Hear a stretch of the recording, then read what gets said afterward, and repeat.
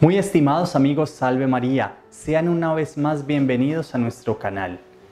El día de hoy, 31 de enero, la Santa Iglesia conmemora la memoria de San Juan Bosco, un gran santo educador italiano. Entre los 19 volúmenes autobiográficos que nuestro santo escribió narrando su vida, se destacan nada menos que 159 sueños que él tuvo a lo largo de sus años. San Juan Bosco no le daba mayor importancia a estos sueños, pero al ver que pasado el tiempo estos sueños se cumplían con una exactitud increíble, San Juan Bosco consultó con el sumo pontífice Pío IX, el cual vio en estos sueños una señal de Dios no solo para San Juan Bosco, sino para todos sus hijos espirituales. Aconsejó vivamente a San Juan Bosco de escribir cada uno de estos sueños. Lo que más impresionaba a los oyentes de San Juan Bosco era constatar cómo después cada uno de esos sueños se iban cumpliendo con una exactitud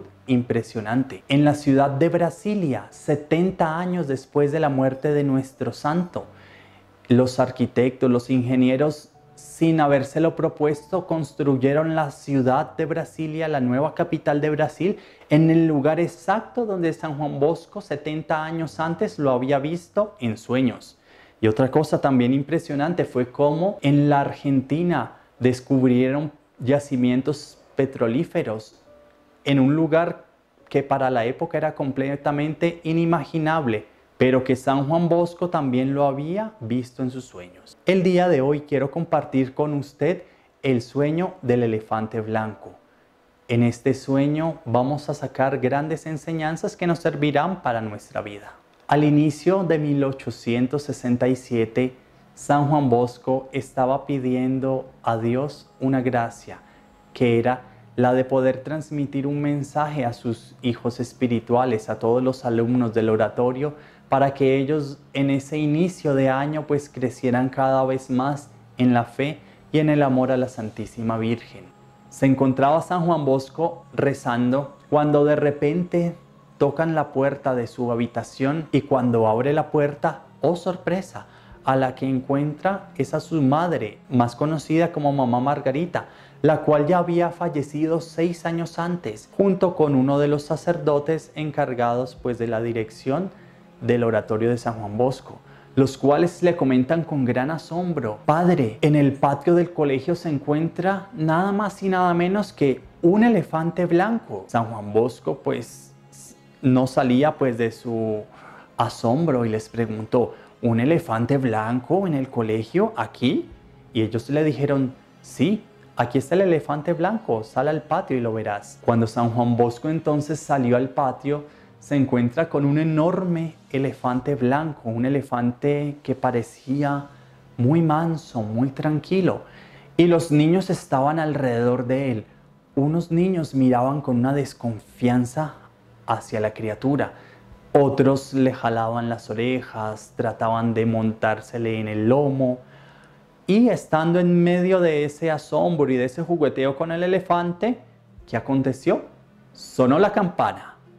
Era la campana para ir al templo y todos los alumnos ordenadamente salieron y se dirigieron al templo donde tendría lugar la celebración de la Santa Misa y la adoración al Santísimo Sacramento. Y hubo una cosa impresionante que sucedió y es que cuando el sacerdote elevó la sagrada hostia para ser adorada por los fieles, el elefante que se encontraba en la entrada del templo volteó las espaldas y se rehusó a mirar la sagrada hostia. Y lo que sucedió a continuación es algo aún más impresionante. Un grupo de estudiantes organizó una procesión y llevaban un estandarte de la Santísima Virgen cuya inscripción decía Santa María, socorred a los necesitados. Apenas hubo salido la procesión de la iglesia, este elefante que se encontraba dando la espalda al templo y jugueteando con algunos niños que ya habían salido, empezó a dar bramidos y alaridos terribles, golpeando y pisoteando a muchos de los niños que se habían acercado a él para jugar.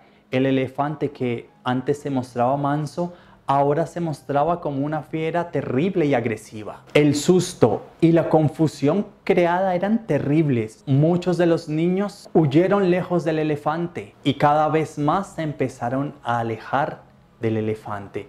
Sin embargo, había otro grupo de niños los cuales no les importó la agresividad del elefante e hicieron un pacto con él de traerle a los otros niños cerca para que el elefante pudiera golpearlos y pudiera maltratarlos. Pero mientras se daba todo este caos, en el patio del colegio se encontraba una imagen de la Santísima Virgen, la cual empezó a tomar vida y fue extendiendo su manto, extendiendo su manto dentro del cual se vinieron a refugiar cada vez más y más niños para ponerse a salvo del terrible elefante. Algo impresionante es que los primeros niños que fueron a cobijarse bajo el manto de la Santísima Virgen eran los niños de mejor conducta, los niños mejor comportados. Pero al ver la Santísima Virgen que muchos de sus hijos no venían a acogerse bajo su manto, la Santísima Virgen gritó, vengan todos a mí. Lamentablemente algunos niños no se refugiaron bajo el manto de la Santísima Virgen y por consecuencia resultaban heridos por el elefante. Varios de los muchachos que estaban bajo el manto de la Santísima Virgen al ver esta situación empezaron a salir del manto de la Santísima Virgen al patio del colegio a arrebatarle al elefante varios de los niños que estaban heridos y que no podían llegar por sus propios medios hacia el manto de la Virgen y a llevarlos y a colocarlos cada vez más en el manto de María. Tengan una ilimitada confianza en mí y mi manto virginal les servirá de refugio. Después de esas palabras, la Virgen desapareció. La estatua volvió a ser la misma de antes.